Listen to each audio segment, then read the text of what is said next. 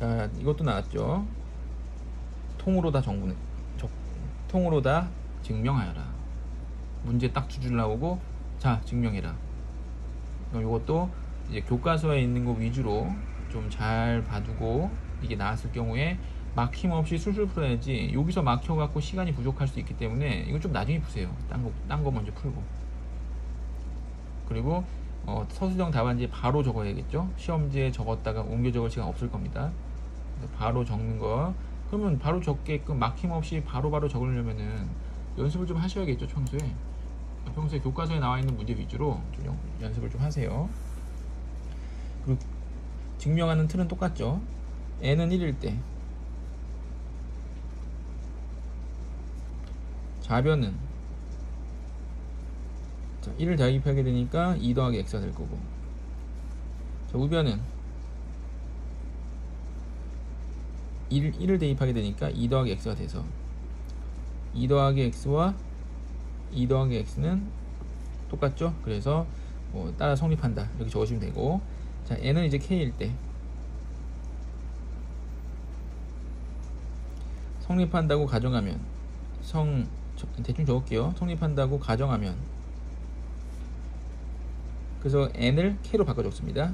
2 플러스 x의 k승 여기죠 그게 2의 k승 더하기 x의 k승이 되고 이제 n은 k 더하기 1일 때 1때 2의 x의 k 더하기 1승으로 바뀌면서 자, 요 값은 2 더하기 x의 k승과 2 더하기 x로 쓸 수가 있죠. 근데 2 더하기 x의 k승이 뭐라 그랬냐면 위의 식에서 이러 했어요, 이거.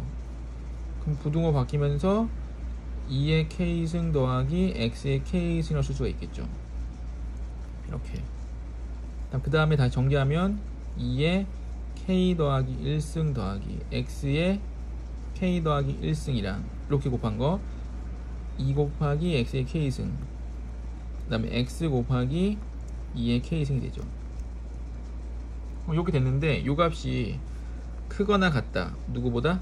오른쪽 식에 k 더하기를 대입한 거 그럼 이렇게 똑같으니까 없어지고 이렇게 똑같은 게 없어지니까 요 두 개만 남겠죠.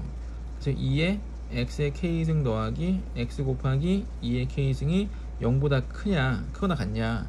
당연히 크거나 같죠? 왜냐면 x도 양수고 문제 써 있습니다. x도 양수고 자연수도 양수고. 그럼 당연히 얘는 0보다 크거나 같겠죠. 따라서